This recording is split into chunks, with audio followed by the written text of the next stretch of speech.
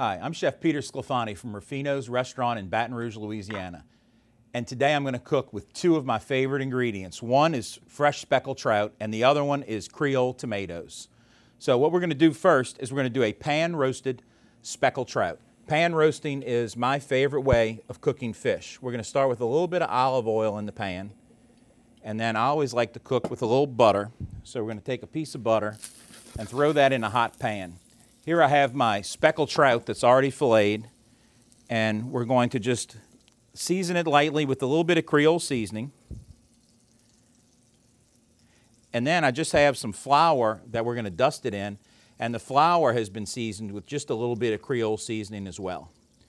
So what I'm going to do for pan roasting is I'm going to start my fish on what we like to call the presentation side, which that would be the side that was closest to the bones.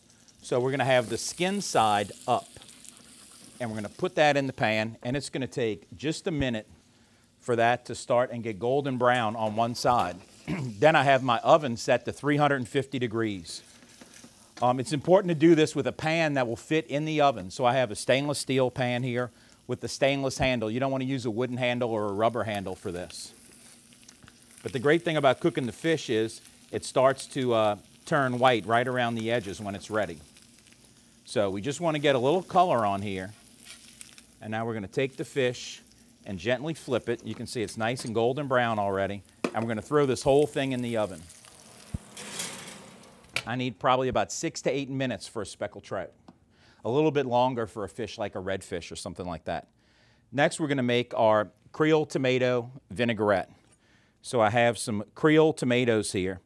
I get my Creole tomatoes down in St. Bernard Parish on uh, St. Bernard Highway from John Gallo. He's been growing Creole tomatoes for my family for three generations.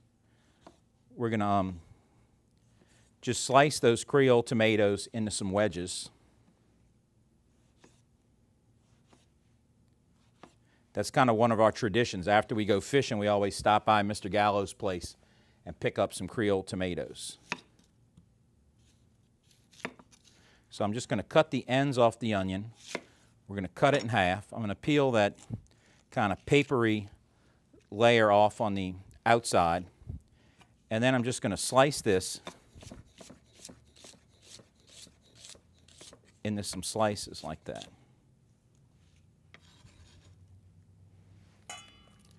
So now we've got our tomatoes and our onions. I've got some fresh lemons that I've juiced. We're going to add some lemon juice. I have a little bit of chopped garlic. I have some dried oregano.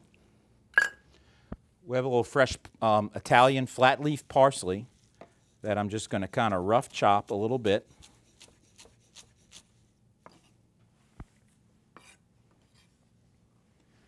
We're going to add some parsley to that.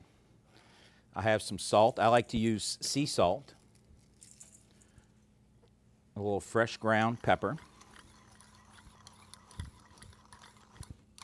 And then when I'm making vinaigrettes, one thing that I do is I add a few ice cubes to it.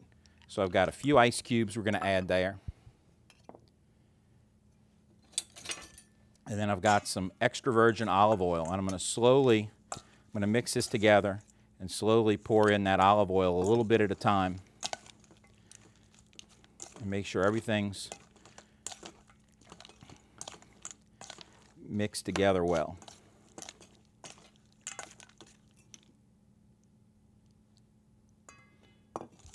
So I like to do three parts of my acid, which in this case is lemon juice, but it could be vinegar if you're making another kind of vinaigrette, to um, three parts of olive oil. So, so one vinegar or lemon juice to three olive oil.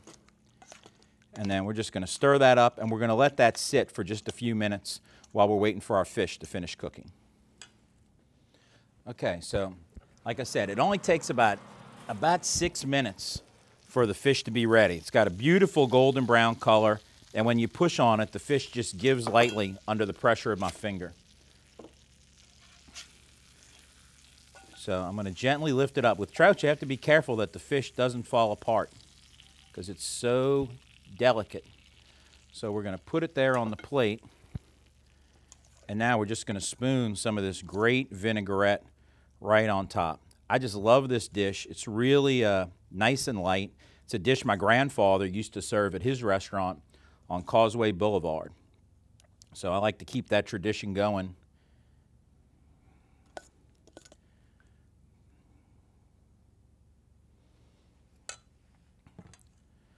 But there you have it.